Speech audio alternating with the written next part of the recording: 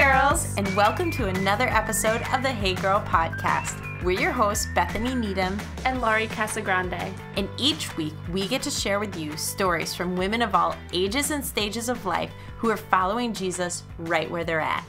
Our prayer is that each story encourages you to run your race in your place. Okay, ladies, we're still in our best of series. And y'all know I could not get through an entire best of series without bringing back one of my faves, Regina Robinson. Oh my goodness. Girls, if you have not already listened to Regina's episode, you absolutely need to hear this. Hers was one that immediately after releasing it, I got bombarded with messages of people who were just so blessed and encouraged. And honestly, we're probably fangirling as much as I do every time that I get to spend time with Regina. Regina and her husband are from the Boston area or currently serve in the Boston area. And man, is her story and the ministry that she has there just so incredibly powerful. So I'm so excited for this best of episode. Please enjoy my girl, Regina Robinson.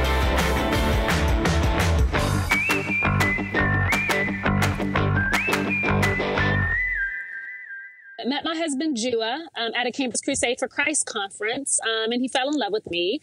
I kind of liked him too. And you know, through our courtship, uh, we were married about a year later. And while he was in graduate school, about two three years in our marriage, God really started tugging on his heart about pastoring in regards to what it would look like to lead a, a, group of people in closer relationship with each other and closer relationship to God. Having been a preacher's kid, I was kind of like, yeah, no. Thank you. Um, I, I, wouldn't say that to him because you don't want to crush a brother's dreams, you know? And so I listened. Um, I prayed with him, but having been a preacher's kid, still, you know, a preacher's kid, um, I've seen the good, the bad, and the ugly. But following God's lead means following Him in the good, the bad, and the ugly, right? Um, so little did I know that um, going down that road of um, pastoring would lead us to church planting. So we moved to Little Rock, Arkansas for um, training at Fellowship Bible Church. We were there our first year in preparation for planning a church in Boston. While there, we had our baby girl Jordan, who is now our 11 year old. She's our oldest, and she's our chef, our, our just budding chef it's really a blessing to have a chef in the family, I gotta say.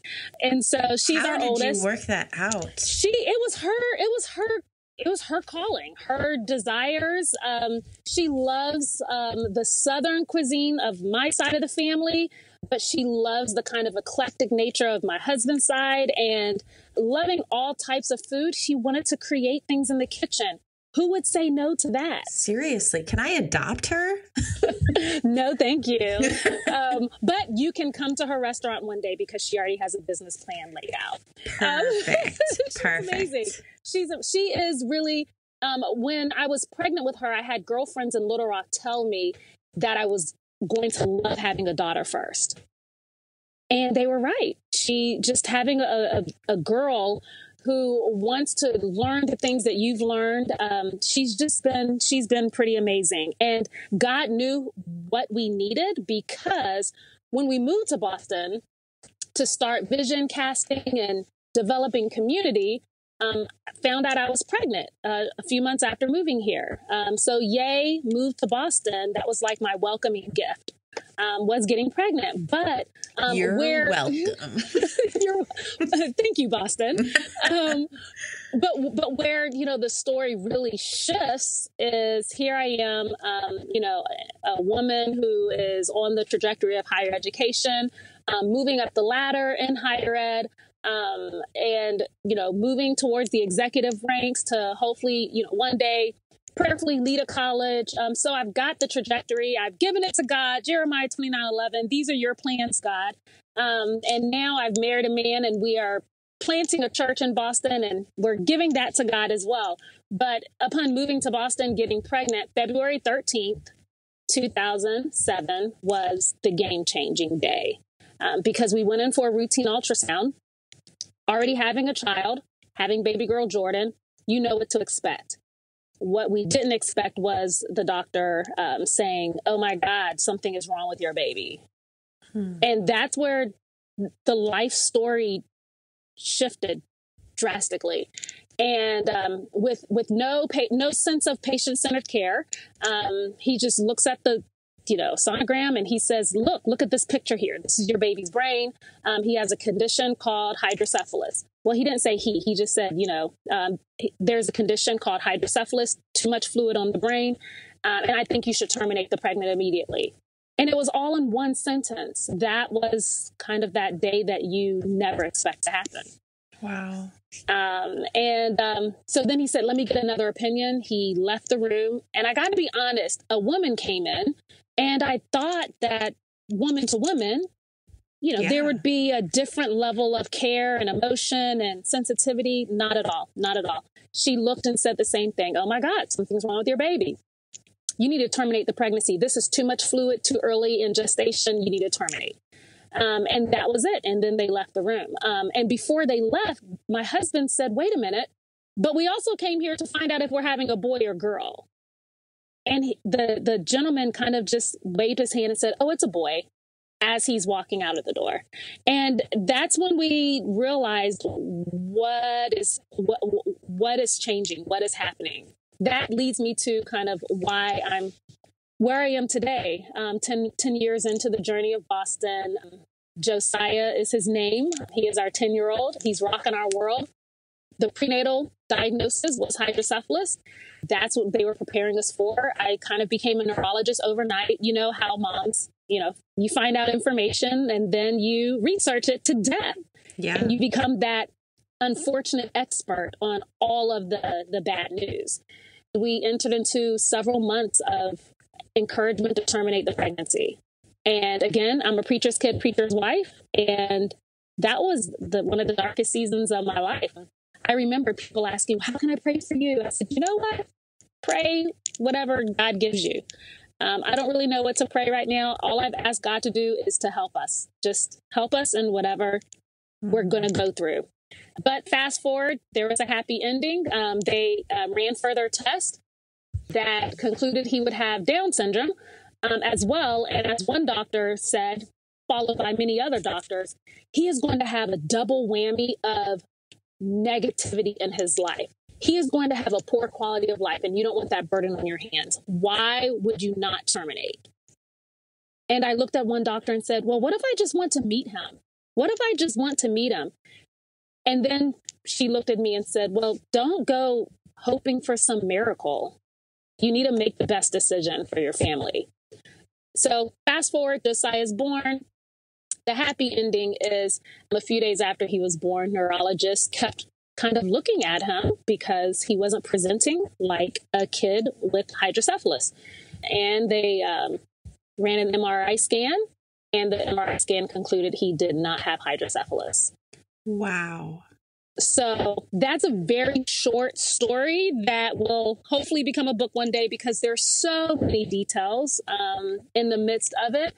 Yes, he does have Down syndrome, but he is, you know, the happiest, kindest, highest EQ in his class, in his school. He's the mayor of his school. He just loves people. If you meet him, you will get a high five or a hug, unless you're just not a nice person and then he may call you out to dance. But he's our number two. He's our number two. He's our game changer. Um, and he's the reason why God opened up a lot of doors for me to do some of the advocacy work that I'm doing now. Then number three is Joy. She's our Spitfire. She is a bundle of joy. Joy literally came in the morning after all of the weeping that you know we had to go through with Josiah. And Joy has been a great sibling to him. She is just a smart girl. She's our STEM girl. She wants to be an engineer slash Boston police officer one day slash everything else that comes, you know, in her mind um, uh, week to week. Um, and then Jeremiah is our uh, bulldozer of emotions, of ideas, and of verbal energy. He's five and he is um, a very loving but interesting character as well. And so that rounds out our J crew. And that's my story. wow. So many parts of this. Let's go back a little bit because you said you're from the South Yep. You came up here to New England, to Boston. Tell me a little bit about, first of all, just the culture shock of that. oh my. Oh my. The first shock for me was the first day we returned our rental van. I was driving through one of just one of the main streets and the light turned green and I must not have moved fast enough and I started getting honked from behind.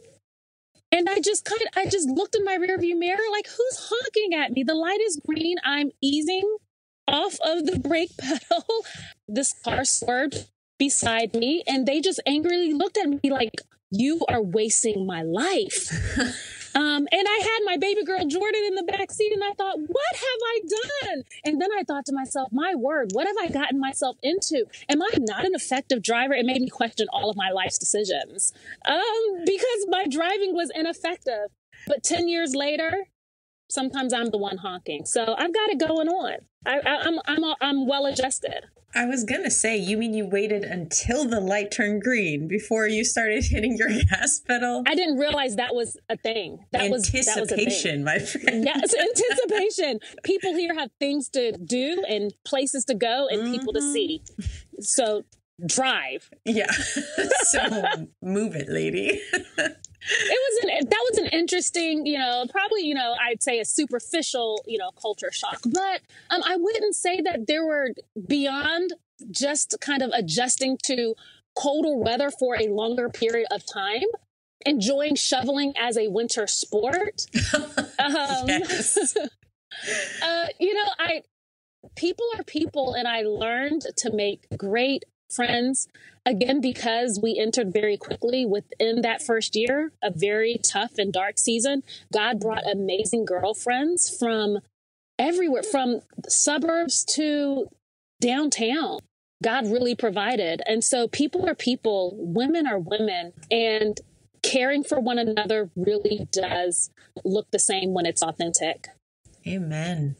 So one of the things you mentioned when i heard you speak at lead youth was some of the shift in the different ethnic groups that we have here versus what you came from. Do you want to talk us through? I just I found it fascinating for someone like wow, I never ever would have thought of that before. Yeah, so I um I had an aha moment within my first few weeks here. You know, I do believe that retail therapy does does amazing things for the heart and soul, especially when you are in new places. I just maybe that's superficial about me. I don't know, but I think we'll save that, that till the end. I, I think that I can meet a like-minded girlfriend pretty much in any boutique, in any store. So I set off to find a TJ Maxx. First, I have to I have to admit they're so many amazing factors of living in New England.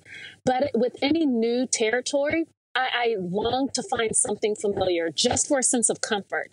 Oh, so yeah. a few weeks after moving here, I realized I hadn't seen a lot of things that reminded me of home. And so I just said, you know what, Lord, could I find my four areas of comfort?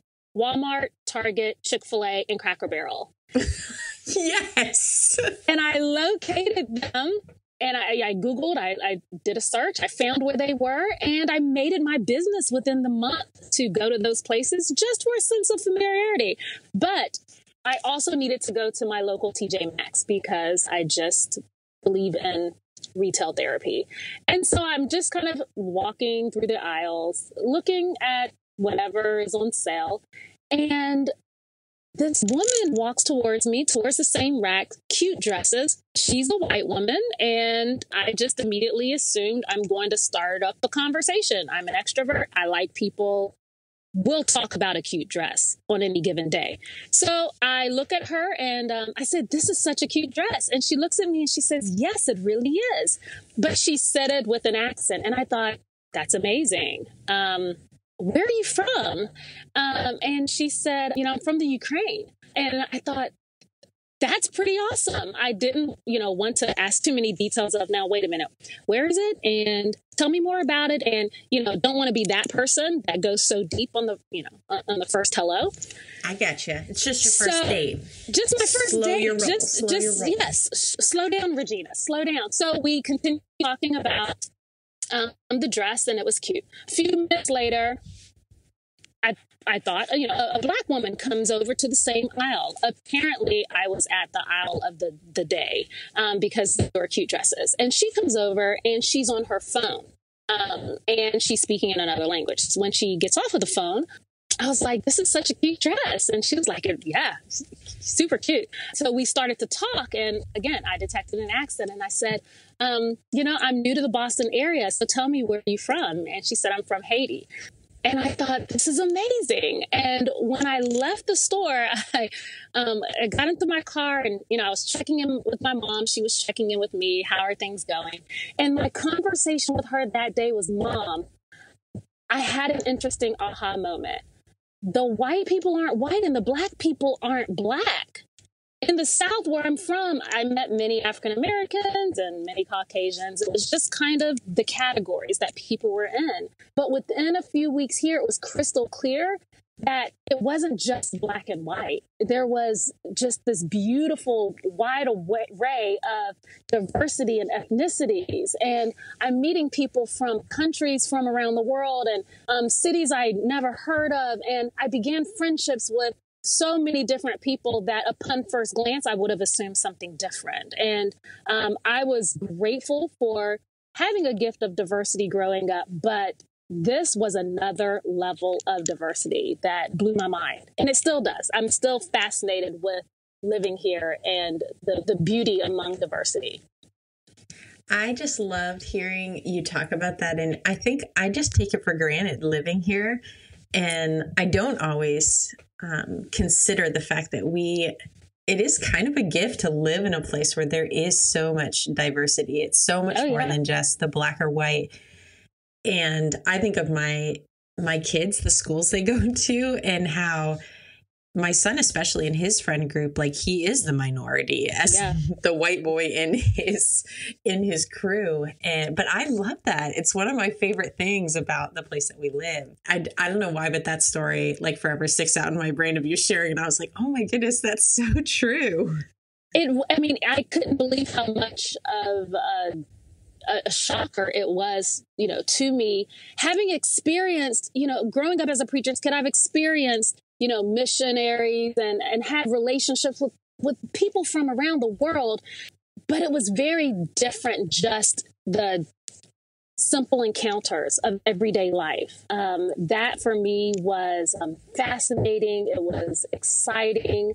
Um, many of those first encounters became fast friends. And I also learned uh, very interesting point from um, one of my first friends here, uh, who would when I when I'd go out to different places with her, depending on where we went, people would engage me, you know, in, in, in Spanish or you know or in French, and she was a Haitian woman, and she said, "Regina, just tell them you're just a Black American." And I, was, I didn't realize that that was a just a thing that I'm just a black. Like, when did I get reduced to just a black American? What does that mean?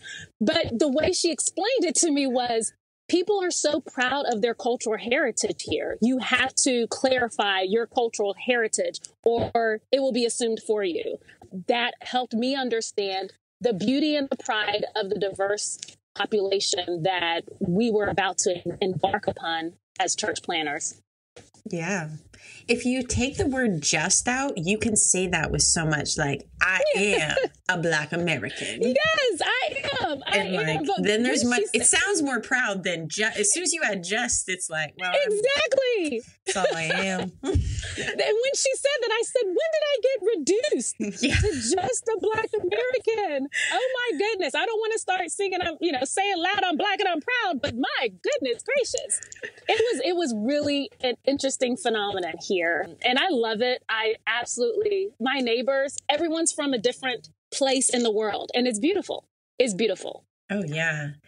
So, in all that you've walked through this journey that God has brought you on, um, you mentioned your son, even growing up as a Black American. And we know, especially in recent days, obviously, racial tension in our country and all of these things that are going on around you have really kind of taken this position as an advocate and doing a lot of work in that arena. Talk to us a little bit about what that looks like in your life because that that is one thing as you shared that's that's about the time it tipped the scales into me fangirling and just being like man i need to know this woman like i just so much respect and appreciation for the work that you're doing in boston and beyond but obviously located in boston having had the parents that I've had, I'm really, really grateful for parents who are bridge builders. They believe strongly in that calling, understood it biblically, why it's important as believers to be bridge builders. I adopted that mindset, um, not realizing where it was going to take me. So it's one thing to have an upbringing, it's one thing to appreciate the principles that your parents teach you, and it's quite another to embark on a journey where it will be tested every step of the way, right? So um, I kind of believe in the ABCs of knowing yourself. Um, and for me, my ABCs are I'm an advocate, I'm a bridge builder, and I'm a communicator. And so whether it's with race um, and ethnicity, or whether it's with ability and disability, um, or whether it's with areas of spirituality, I want to be an advocate for who I'm representing and speak up for those who may not either be able to speak up for themselves or not yet at the table to speak up for themselves. But then I also know that as believers, I'm called to be a, a bridge builder. Um, and so I, I think about what is the bridge that is between us and how do we cross it to meet one another? Mm-hmm. And hopefully to walk to that other side of understanding, of engagement, of awareness that is not an easy road, as we obviously see um, in, many of the, the current events and racial tensions that have been with us for a long time, but just have surfaced now in, in a different way. There has to be a level of awareness that it actually exists. I've learned that um, in the world of disability and ability. Uh, you'd be you'd be amazed, Bethany, to kind of see whether you're talking about race or whether you're talking about um, gender and helping men and women understand and uh, uh, you know appreciate and affirm each other, um, or whether you're talking about um, abilities and disabilities, uh, or whatever cultural differences you're talking about, it's got to start with awareness. Hmm. And if you're if you're not aware, if you're not even paying attention, you're completely missing even the beginning stages of building bridges towards understanding oneness, caring communities my father's a pastor of a predominantly black church, but we've also gone to schools where we were the minority and we were in predominantly white schools. So I came to understand both cultures very, very well. But the world of disability and ability is another level. It's just talk about not paying attention. You know, I've learned in this journey with Josiah, people with disabilities are another marginalized population, folks who sometimes get disregarded they're invisible. And then when you add the layer of race and ethnicity to people with disabilities, we could be here all night. I mean, the disparities are real, the challenges are real. So I just believe that I'm called to be a bridge builder. I'm always wanting to find ways when I'm connecting in communities. So that's really the place I start. And I just think such a powerful part of your testimony, what God's done is that he has layered those things in your life that you yeah.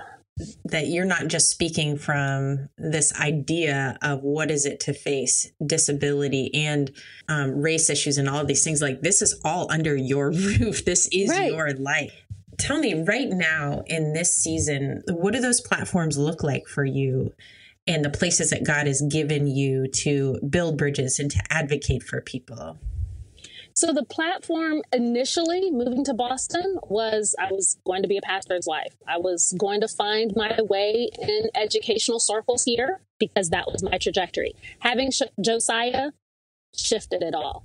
My heart needed to take a break from trying to plan a church. My heart did. My feet and my arms still went through the motions, but my heart was just struggling.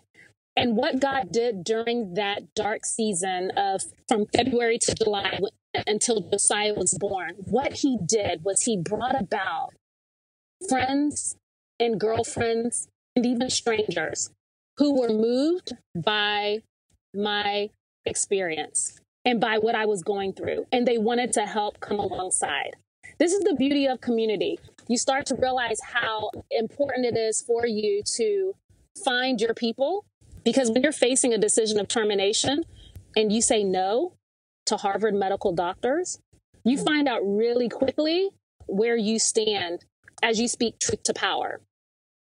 So, as you can probably tell, Bethany, and you probably could tell at the conference, I'm an extrovert. I love to talk. Um, not just not just talking. I know since I've known since I was a kid that I have a calling to speak. What it looks like for me now, it started as a pastor's wife. It started as you know a church planner. It started as being a mom of one, but then becoming a mom of two and needing to use my voice to advocate for a boy I'd never met it took speaking to another level because now I'm speaking truth to power. Now I'm pushing back to power. No one tells you when what to expect when you're expecting that you may have a doctor give you bad news and you're going to say no thank you. For me, it made me realize um, there's something to this. There are thousands and thousands and thousands of women who are faced with these decisions all the time. And how do they know what are their next steps? So advocacy began in wanting to get training on understanding medical practice, best practice, patient centered care at hospitals, and that led to leadership roles to help advocate for parents in the city of Boston. I was trying to learn as much as I could to help survive my situation. One thing led to another. I'm learning, I'm growing, I'm advocating, I'm building my advocacy muscles, and I join a couple of local boards. I start volunteering in different ways. That led to speaking opportunities, that led to training opportunities of other families and parents and educators. And in 2014, somehow my name and the work that I was just doing on the local level reached Mayor Walsh, the newly elected at the time Mayor Walsh of Boston, and he um, called me and asked me to sit on a committee I thought it was a prank call because why would the mayor be calling me? Um, I was I was kind of ready for like Jimmy Fallon or someone to jump out in my bedroom and say, "Gotcha." Hey, that would not be that disappointing for Jimmy Fallon to jump I out. I know. I was. I was. I thought, who am I being pranked by? Because how You're like Ashton the, Kutcher, right? Oh, yes, I thought Ashton. Somebody's gonna like jump out and say you've been punked. In that split second, I thought I was being pranked, and then I thought this could be that guy, and let me not say Quit playing. Get off the phone. Who is this? I'm glad I didn't do that. that would have been an incredible story, though. Yeah, yeah. I still tell him because he did call me while I was taking a nap. So I did think I was having an out of body experience. Um, so I told him, you know, he was a great wake up call, um, literally. uh, so yeah, you know, he did. He appointed me to a committee, and then that opened up a door to a school committee appointment in Boston. It's appointed, not elected. Um, and that was a huge step of faith for me. Can I do something like this? By this time, I'd gotten back into higher ed, Dean of Student Affairs at a local college. And so my plate was full. But I knew that building those advocacy muscles were not in vain. And I knew that God was taking me to a place that I had not set out for on my own. But here I am, finishing up my first term as a school committee member. And it's been a wild ride, many highs and lows, but many opportunities to as the Bible says in Matthew, to let your light so shine. What I just love about that story is you were just walking what was in front of you. You were doing the research you needed to do to survive what was given to you. And just that imagery of you were being faithful with exactly what God put in front of you without necessarily having this huge vision of, well, maybe if I do this research, then eventually I could maybe the mayor will call me, wake me up from a nap, and I'll end right, up on right. school committee. Like you just kept walking and remaining faithful, and then God just kept showing up. I that's think it. that's incredible. You better preach it, girl. You said it better than I did. no, I just I'm sitting here like, wow, that shouldn't that be all of our stories? Like, yeah, but here's the thing though, Bethany. If God would have laid it out in front of me and said, So, Regina, you're going to move to Boston, and instead of planting a church um, and instead of just impacting medical students, I'm going to have you impact the medical doctors. Oh, and Regina, I'm going to have you impact some of the world's greatest physicians who do some of the most heinous things because of the things that they're telling women to do. But when they find out they're going to have a child with some level of disability, and you're going to speak truth to them and you're going to talk back to them the way you tried to talk back to your mom and dad and it didn't work out okay. Gina, I'm actually going to let your talking back work out for you. Like if he would have laid all that out for me, oh, and you're going to have a boy, and what they're telling you prenatally from the highest levels of leadership and the highest levels of expertise in the world, I wasn't going to see mom and pop doctors. I was seeing Harvard medical school Man. professors. So, like, if God would have laid all that out, I would have still said no, thank you, because who wants to go through so many painful, ch- like one thing after another? Wait, hydrocephalus? Okay, I become a neurologist. I've got to learn everything about my baby's brain because they told me he may die. They told me he may not make it full term. Then they told me he may not live very long. Then they told me all of these, you know, instances and examples of poor quality of life. So they give you this death sentence. Oh, wait, now he has another diagnosis of Down syndrome. One doctor was like, you don't want that burden on your hands. So if God would have told me, I would have, you know, who, who, who says yes, thank you to such hardship? And yet you're absolutely right, Bethany. He, he handed things to me that all I could do was say, we need your help here. My, my only, one of the only prayers I remember praying in the early months of 2007 was God, whatever you do, you got to just hold us up. You got to just mm. help us out. I don't know if I'm going to be that mom that gives birth to a baby who's not living anymore because they told me he wouldn't make it full term. I don't know if I'm going to be that mom who has this baby born with hydrocephalus and down syndrome. I don't know if I'm going to be this I don't I don't know. All I know is I need your help because this isn't a part of the Jeremiah 29:11 that my Sunday school teacher taught me when I was a kid. This isn't a part of the plans that I had set. So God, yes, God guided us every our footsteps, every step of the way and he just he knows so much more than we do and he did he held us up my prayer was let josiah baffle the brilliant whatever whatever you do in his life just let him baffle the brilliant don't let them feel like they're right about everything please and he's been doing that Oh, that reminds me so much of that passage in Corinthians where he said uh, he uses basically to make fools of the wise, like Amen. baffle the brilliant. I love that.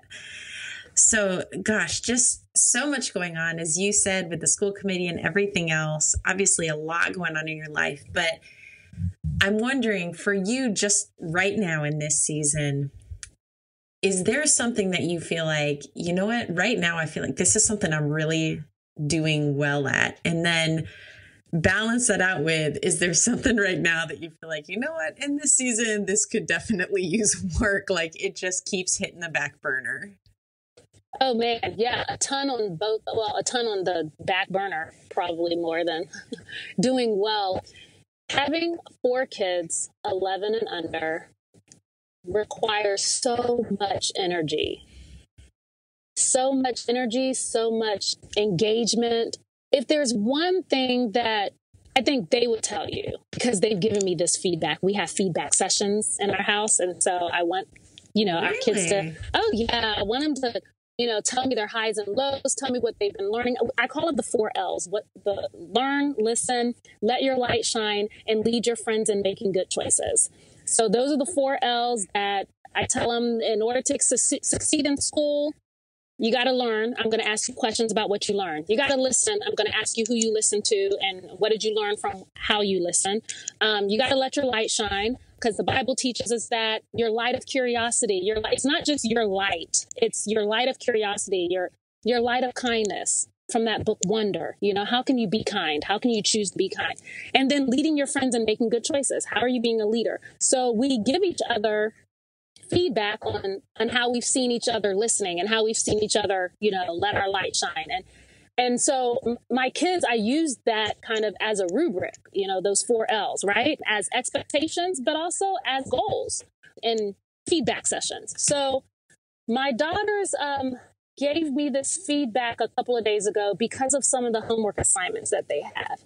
Jordan had to do, she's in middle school, and she has to write a report about um, someone who um, has been courageous. So she's telling me about the book report. She's telling me the criteria of the report. And I said, Well, you should write about yourself. And I gave her examples of ways that she was courageous and sticking up for a friend who'd been bullied. And, you know, I'm, t- I'm giving her all these examples of ways that she's been courageous. And she looked at me, she said, Mom, I want to write about you. Oh. And I was like, Wait, what? Hold on. um, what? And she said, I want to write about Josiah's story. I want to write about um, when when you had him and the doctors told you you shouldn't have him. And so she was like, so this is what I need to know. And she starts asking all of these questions, which I just gave you all the adult version. How do you drill down the adult version of doctors are telling you to terminate a pregnancy? So then she's asking, what does terminate a pregnancy mean? And I was like, oh God, um, okay, so how do we have this conversation about abortion and abortion from a medical doctor? Like, what? Lord Jesus, help me. It was one of those Jesus take the wheel conversations, you know? you steer it, Lord. You steer it in the direction you need to take it. But she wanted to understand what it meant to um, have a conviction of something you know to do in your heart and follow through with it hearing that from my kids and, and joy was just listening along and i thought okay i need to make this for an 11 and an 8 year old's ears to understand. But they were just listening along and in their minds they can't imagine life without their brother right? But i had to show them the statistics of you know over 60% of women in the united states make a decision to terminate a pregnancy when they hear a diagnosis of down syndrome. I had to show them the statistics in iceland. 100% of women are terminating pregnancies when they get a diagnosis of Down syndrome. So, if there's something that I think I'm doing well that my kids have given me feedback is I'm helping them see the value of difference. I'm helping them see the mm-hmm. value and the courage that sometimes you have to have to speak up for people who are different, who, whether it's different ethnicity, different life experience, different life season, or different ability. I would hope I that's just recent feedback. So I think I'm doing okay in that category of um, helping helping my kids value difference, help, helping them let their light shine, their light of curiosity and kindness and acceptance and care. Now, the other area of um, what I'm not doing so well, this you know, it won't it won't make the highlight reel it's probably the juggling. I find myself always wrestling with juggling the, the balls in the air and longing for sometimes I long for a sickness to take a sick day so I can just kind of relax and get a way to get it together. And I've had to learn, especially in this last year or two, find a better pace of mm-hmm. taking care of myself so that I can be a, a, better wife and mom and friend and sister and daughter and leader to others, um, but also so I could just be a better person to myself. So, juggling is definitely the area that I think I'm constantly asking for wisdom and finding better ways to really juggle, balance, whatever word you use you know, trade offs, um, choosing the trade offs. That's something I'm constantly trying to work on. You got some suggestions, girl? uh, if you figure that out, you should definitely write a book. I think I avoid the word balance as though it is the plague, but I love the word rhythms. That has become really a, a life lesson for me. In that life, there are rhythms. And the thing about rhythms is we can't sprint all the time, but there are times in our life where we're in a sprint and for that to be okay and the reason it's okay is because before the sprint we had a rest and there's a rest ahead yes and so it kind of helps us helps us kind of to ride those rhythms and for me the hardest thing is the slowdown rhythm like yeah. i love the hyperdrive throw me in a mm-hmm. sprint any day but man slow down i i get fidgety and I'm just like I'm useless. Like I need to do something. Uh-huh, uh-huh, yeah. And I'm saying that from God having just very recently put me into a season of, hey, guess what? It's slow down time. And I'm like, no. but in the midst of that, as I think about rhythms, I'd love to hear what are the things in the season of just full? You got the kids and everything going on. Where are those areas that you find you are just really drawing near to Jesus And then what are the areas that you find probably are the most distracting? Like the things and I'm sure busyness is probably the obvious answer like for all of us, busyness yeah. can distract. But what does that just for you specifically, what does that look like? What helps me really I, I say see God in the little things before looking for him in these major mountaintop experiences. Having Josiah really caused me to stop and smell the roses literally.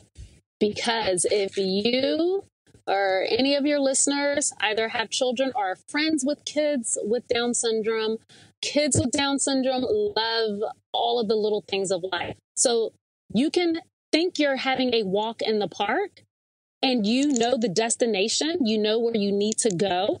But my little boy will not just walk in the park, he will wander in the park because a flower caught his attention, a bird did, or a dog scared him and he's going in the opposite direction. Whatever pace you thought you were going to have, my boy will change the pace.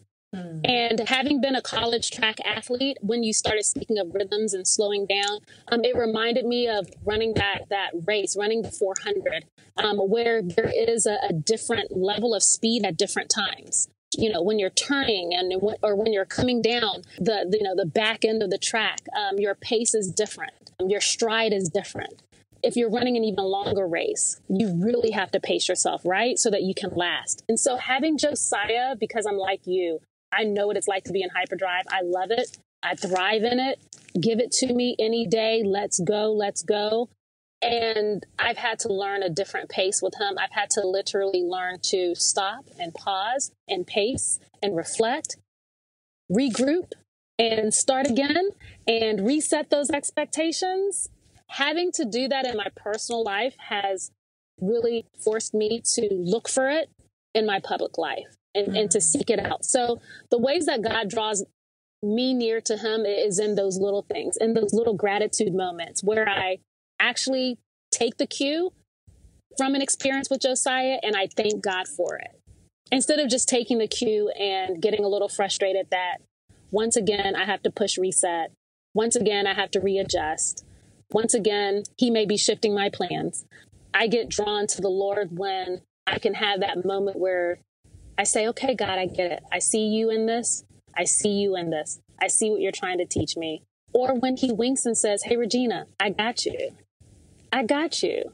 During those little, those hard moments, those doctor's appointments that I thought would go in one direction and it ended up going into another direction. And he's saying, I got you. So it's the little things that he's really drawn me closer to him.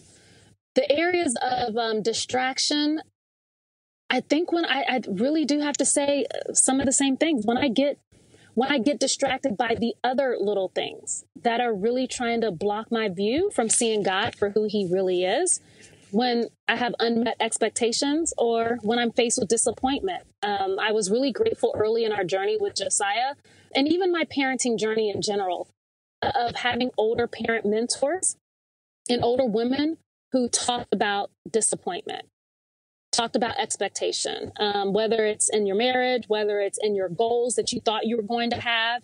Um, and then becoming a parent shifted it because of the needs of your children. But what to do in the face of disappointment?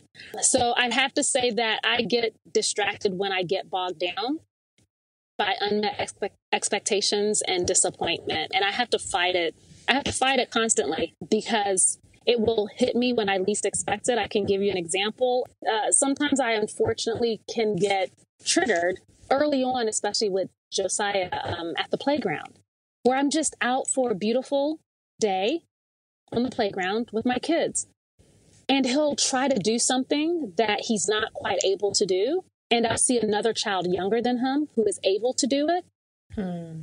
And that disappointment starts to seep in, right? I've had to learn to really wrestle with those unexpected moments of disappointment and distraction that distract me from truly loving him for where he is, right? For the moments and not the milestones that I'm looking for him to achieve. Wow.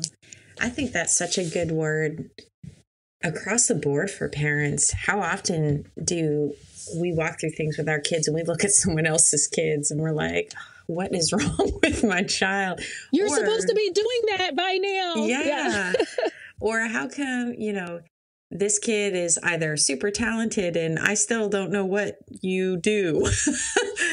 or the kid that seems so naturally well behaved and, you know, your kid just always seems to find trouble or whatever. I just think the whole mom shame game Oh, can yeah. be so easy to fall into. And whether it's being disappointed in our kid or whether it's ultimately like just being disappointed ourselves and feeling like, gosh, what are what are we not doing that we should be doing? And it's such a good word to remember to love love our kids where they're at and yeah. embrace and celebrate the developments and and realize that here we are we probably teach this message where we're like not everyone's going to be good at everything but then we're like but i want you to be Exactly. Right. except my child my child will be good Right, at everything Yeah, and you know what? You're, right. The beauty of disability is it allowed me to see the reality of struggle. Um, it allowed me to see the reality uh, of the vast array of differences in abilities. So, no two kids with Down syndrome are the same. No two kids on the autism spectrum are the same. No two typical black girls are the same. No two typical white boys are the same. God has made us all uniquely different. And we know this, we learn it um, as kids. We celebrate it and embrace it as kids, and then we become moms, and that truth goes out of the window when we start to look outside of ourselves and our own families. I had a mentor, Carolyn Wellen from Fellowship Little Rock, and I remembered having tea with her and, and a few girlfriends, and she shared with us as wives to not get caught up in the sin of comparison and competition. And I never forgot that 10 years ago. She shared, ladies, don't get caught up in the sin of competition and comparison because they will steal your joy they will steal the joy of care and support for what it is that God has given you in your charge to take care of. I haven't forgotten it because I see it seeping up all the time. You know, it, it really did make so much more sense not having number one, but having number two child and seeing the vast differences of his abilities. What doctor said he wouldn't do. Man, when he started to do what the doctor said that he wouldn't do, I thought, oh, y'all can't tell him anything. Watch out, world. Here he comes. And I had to learn to celebrate all of those little moments and affirm him in those little moments. Because guess what? If you don't affirm your kids where they are, please don't expect the world to. Please don't expect other people to. It starts with us first. I can't believe that I, you know, I've come to this point in my life where I'd say I'm grateful for the hardships and I'm grateful for the challenges and I'm grateful for those dark periods when I was in the deep pit of despair. But oh my goodness, all the things that God has taught me through it. How I can look a woman in the eye who is raising a, a child with special needs and say, You're a good mom and you're doing a good job right where you are. Celebrate the small moments. Or how I can look any mom or any woman in the eye and say, God made you the way you are, rocket girlfriend, Amen. because he has a plan. Preach, girl. I'm gonna unplug my microphone and let you roll. I love it. Oh, gosh, so much good. I'm gonna jump down to our last question. I'm gonna talk about this is gonna be a little whiplash, but we can't go without knowing what is the most superficial thing about you. So it's it's around food. It's around food. I'm a I'm a Southern girl. I don't know if it's superficial, but um, I do believe that Chick Fil A is a gift from God. I do, Amen. Preach it. and I know all of the Chick Fil A owners in a one hour radius of where I live because I believe that God has called me to bless them As they have with- blessed you. as they have blessed me. Amen. Um, so I, I I probably can be pretty um superficial in thinking that it is um a gift from God that should be given to as many cities and families as possible. But also, you know, I I don't I, I don't know if this is bad or not, but you know, I I still have come to believe that my mom's cooking and her recipes are um just the best way to go. Like her sweet potato pie, there's just none like it. Um, And her macaroni and cheese is, I mean, mine is a close second, a very, very close second. Don't tell my older sisters. I do believe that I do cook it better than they do. I can be superficial about my food, my Southern food. Has your daughter tried the macaroni and cheese yet to make it? Yes, yes, she has. And um, I'm I'm still cultivating that skill in her. Um, she can she made she made her first um, apple pie for Thanksgiving, and Joy made her first sweet potato pie. Of course, with my guidance, but it had to be just so. I'm just I'm, don't know if I'm just a I'm, I don't know if I'm just a snob about what I love, but if it's not just the way Grammy makes it, it's not going to work. so please don't try to outshine your sweet potato pie over mine. Just don't even go there. After all this conversation, I need to come to your house and just eat. I'm just going to eat. Amen. Amen. Amen. It's going to be a good time. It's what good friends do. Yes. Yeah. Well, we are BFFs now, so. Yes, we are. what do you like to cook? Wait a minute. What do you like to cook? Because you can't just come to my house empty handed. So, what are you going to Oh, cook? That's so sweet that you think I cook.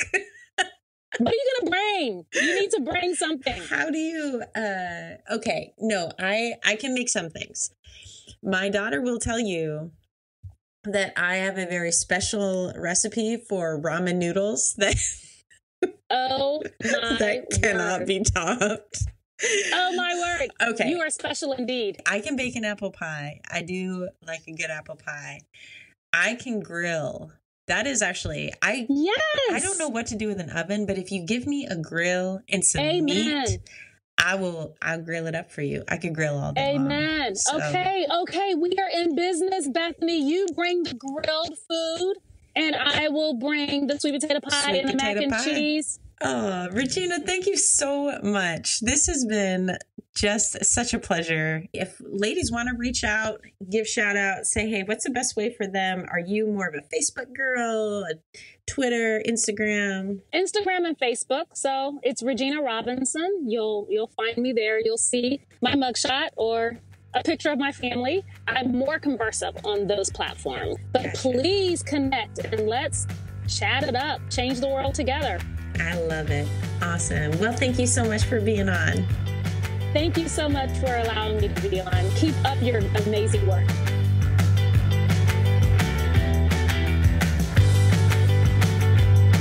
I really hope you enjoyed that episode with our girl Regina Robinson.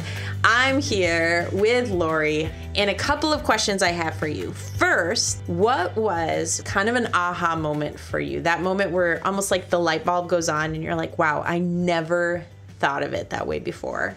I want to say mm mm mm to all that delicious talk that you had at the end about the mac and cheese and Chick fil A and delicious Southern food, but really mm mm mm to the content, the nuggets of information that Regina shared about her story. It was so savory, and I feel like I just had a delicious meal of Hey Girl podcast. I love all your like super clever food analogy terminology. I'm not that clever, so but amen to the food. We need to go to her house and eat, by the way. Absolutely. We should get that in the books. Seriously.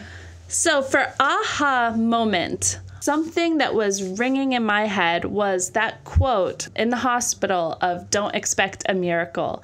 And how do you have realistic expectations and not get your hopes up for things that may or may not happen and just trust in God, but also balance that we do have a God that loves us and has a plan for us and miracle might not be the typical kind of movie star word that you think from love stories or fairy tales, but to expect that if you follow him, good things will happen. Hmm. And I love that Regina kept her expectations in God, followed his plan, and it helped shape who she is today. I love, and I've heard it preached recently, that idea of putting our faith in God, not in the outcomes. It kind of gives freedom to however things play out when our faith and trust is in God. Then really, it is a miracle. Like it's an incredible miracle with her son being born. As I was listening back, thinking they initially told her or encouraged her to have an abortion based on the first diagnosis, Right. Which wasn't even true when he was born. And yes, he Josiah was born with Down syndrome, but just her description of him and like what an incredible The mayor. kid. Yes, the mayor of his school. I love that. I love that. For me, the aha moments were the quotes that just kept like they were on repeat in my brain after Right. chatting with her. The first is I love her quote of talking about the value of difference and her commitment to teaching people the value of difference. And I love that. I love that on so many levels, not just in race and not just necessarily in all the things we talked about in the interview, but just as someone who speaks to young women and women and this entire podcast of I feel like that is a message for us on Hey Girl is that we are all different. We're in different seasons, we're doing different things, but there's value in that. I loved that. That was an aha moment for me. And I think about how God looks at us from heaven and seeing all of our diversity and strengths and weaknesses and loves us no matter what. And if we can take a little bit of that into our communities and kind of follow Regina's lead to embrace it, how much good in the world could occur. Amen to that. And just it's God's creativity. Like, man, if mm-hmm. we valued one another the way that God put, you know, value in us when he designed us exactly the way that we are, which is very different on purpose. It'd be a very boring world if we were all just this I don't know, if we were all Laurie's, that'd be pretty that'd be pretty spicy. But uh, Be careful what you wish for. like even Regina said, she would have said no thank you to God's plan if she had seen it ahead of time without seeing the outcome. And I think in terms of diversity, it can be uncomfortable and we can say no thank you, I just want to be with people that are like me and that I feel comfortable with. But once you get through it and learn from different perspectives and embrace the unique qualities in everyone, I think hindsight, you'll appreciate it a lot more. Yeah, for sure. It's like the verse in scripture be uh, slow to speak and quick to listen. And man, if we applied that more often, especially when we're faced with diversity that we either don't understand or maybe it's even diversity that we don't agree with. Maybe it's people's their beliefs, their convictions that we're not in line with and not just walking away from that because it gets uncomfortable and we don't know what to say. Maybe not knowing what to say is the exact right place to be. Is to not say anything. Right. is to just listen. Don't say something for the sake of saying something. Take time and listen and just start being okay with being uncomfortable. We say being okay with not being okay a lot, but let's let's be okay with being uncomfortable. It's so funny that you said that because last night I was with a group of friends and one of them brought up that he doesn't believe in God at all and he has this view of this afterlife that he explained and I did not know the perfect thing to say. Scripture didn't hit my head. So I just kind of listened and nodded and kind of agreed to disagree but didn't kind of bring up my faith at that point and i kind of reflected on it like oh what could i have said what might have compelled him to see a different perspective but to your point maybe that wasn't uh, it wasn't the right time and i can plant the seed another time and kind of have those tough dis- discussions it's uncomfortable but we have to trust that god's in charge and he's the driver here Amen. Jesus, take the wheel. absolutely So, of this whole interview, did you have a zing moment? In new england we would call it a zinga Zinga. yes. we don't need those r's It's zinga. Uh, my zinga was when she was talking about the sin of jealousy and comparison and being at the park and wanting your child to be just like the other children. And I don't have children yet, but I can totally relate to that feeling of wanting to, you know, be able to compare yourself. And I think we've discussed a little bit how easy it is on social media or among your friend groups and just owning where you are, having that confidence and Yeah. not getting uh, kind of Satan in your ear telling you that you should be a different way or your child should be a different way. And um, that was my zinga for the episode. I love that so much. what was your zinger? it was kind of over the course of her story and God just pouring conviction into my heart of this woman that is doing incredible things in so many areas. You know, Boston's public school committee, like, you know, dean at this college, all of these things is absolutely incredible. But she didn't go chasing any one of those things.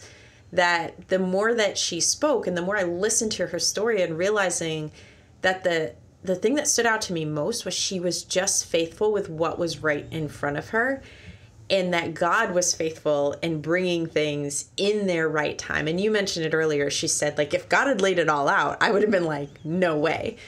But as someone who's in this season of wondering what the, you know, next thing is, I just really needed to hear, you know what? Stop worrying about what the next thing is and just be faithful with the thing I clearly put right in front of you. And that's enough for today. You don't have to figure out like next week or two weeks or next year or whatever it is or how this decision is going to impact in the the next 12 years of your life and as someone who now we do this podcast thing there is honestly this temptation you you start thinking in terms of is this building the right platform for me like is this connecting me to the right people and I man you want to talk about a zinger like to the heart I was like god I'm I was never responsible for building a platform and like this is your platform. This is your message. I just need to stay faithful. As a side note, and this almost sounds like a teaser, I don't mean it to be, but since interviewing her and since releasing a lot of that, and you know this, I'm looking at you because you know this, the number of people now that have responded to even, hey, we're going to come on the podcast, I think our list of people just multiplied by an extraordinary amount when I stopped trying so do exciting. And the teaser part is I have names on our list now that were legitimately names that I'm like, we'll never get to have these people and talk to them, but wouldn't it be cool if and then within like 48 hours, the, it was just like, yeah, no, absolutely, let's set a date. So man, that one straight to the heart. And I'm sure, I'm positive I wasn't the only one because that's one of those things to just be present and faithful with what's right in front of us. Along those lines, she said that believers are called to be bridge builders and I think Regina's done an incredible job of crossing the bridge when she's ready to. And to your point, not looking three bridges ahead and just being in that moment. Keep building those bridges, ladies and gentlemen. I say gentlemen, but mostly our Hey Girl audience. there might be some gentlemen. Right, exactly. So, so many great nuggets, really delicious episode. Thank you for sharing it with us. Absolutely. And as always, listeners, we just want to encourage you wherever you're at this day listening to this episode, whatever is right in front of you, we just want to keep cheering you on. Run your race in your place and keep being awesome for Jesus. Bye, girls.